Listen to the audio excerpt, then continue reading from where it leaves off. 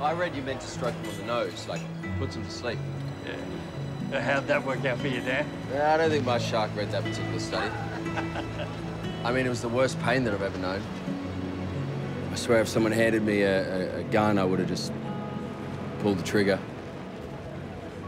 Uh, there's nothing like losing a limb.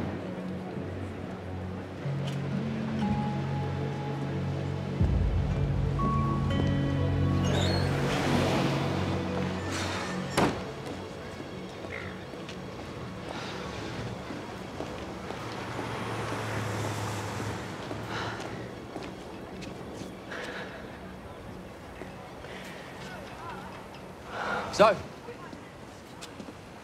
I didn't know you were here. Who are all those people? It's um Bite Club. It's like us. We uh, live to tell the tale. Right, so what do you do? Like get together and compare scars? Mostly we drink. Yeah, we compare scars too. Um, Audrey Gibson. She's turned up dead. Well, that doesn't surprise me.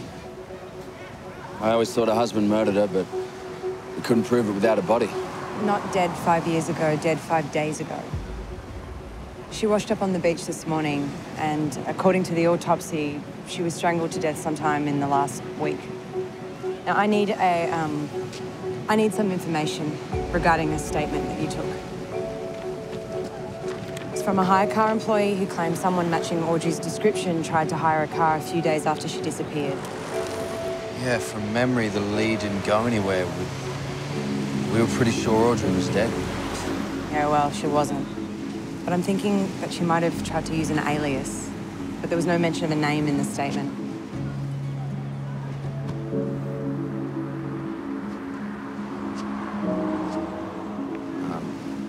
Can't really remember. I, I'm sure I would have written down somewhere, maybe in my notebook. Sure. Check. Does he know about the body washing up? The husband? Uh, no, not yet. Good. Use it to your advantage. He's a clever bastard.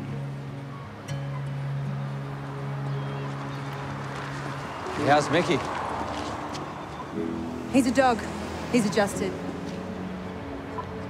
I heard you seeing someone. Jim's got a big mouth. Oh, and if you think of anything else, maybe give him a call.